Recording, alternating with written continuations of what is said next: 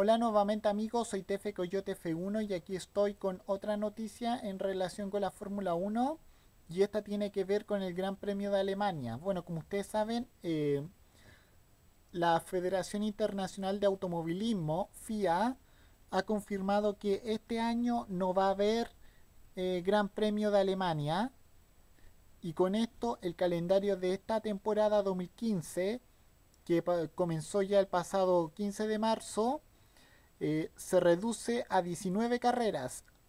O sea, este año habrán solamente 19 grandes premios. Eh, y esta va a ser la primera vez desde el año 1960 que no se corre la Fórmula 1 en, en suelo alemán. Y bueno, eh, según lo que dice aquí, según lo que dice aquí, eh, ni el circuito de Hockenheim ni el de Nürburgring van a albergar finalmente el Gran Premio de Alemania en la Fórmula 1 por diferentes motivos. Por ejemplo, eh, el segundo que, se, que mencioné, que es Nürburgring, eh, alegaba problemas financieros que le hacían imposible eh, organizar la carrera y por, eh, en el caso de Hockenheim eh, los jefes de ese circuito han apuntado a que se le sería que se le sería demasiado imposible preparar la carrera porque disponían de muy poco tiempo para lanzar al mercado de forma de una forma adecuada eh, los pases a la al, gran premio. Esas son eh,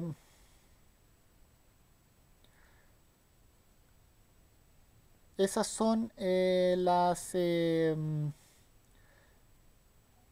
los motivos del de por qué no habrá Gran Premio de Alemania y, y en cambio para julio de, de este año eh, solamente Gran Bretaña que se disputa el 5 de julio y Hungría que se disputa el 26 del mismo mes eh, serán los únicos circuitos que estarán en el calendario de Fórmula 1 este año.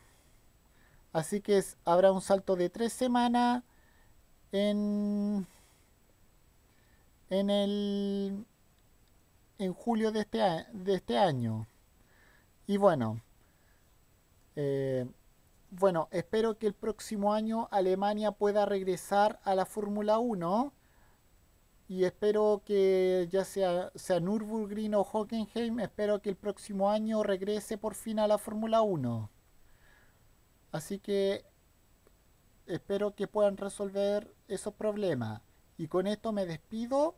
No tengo nada más que decir. Nos vemos en otro video. Soy Tefe Coyote F1. Cambio fuera. Adiós.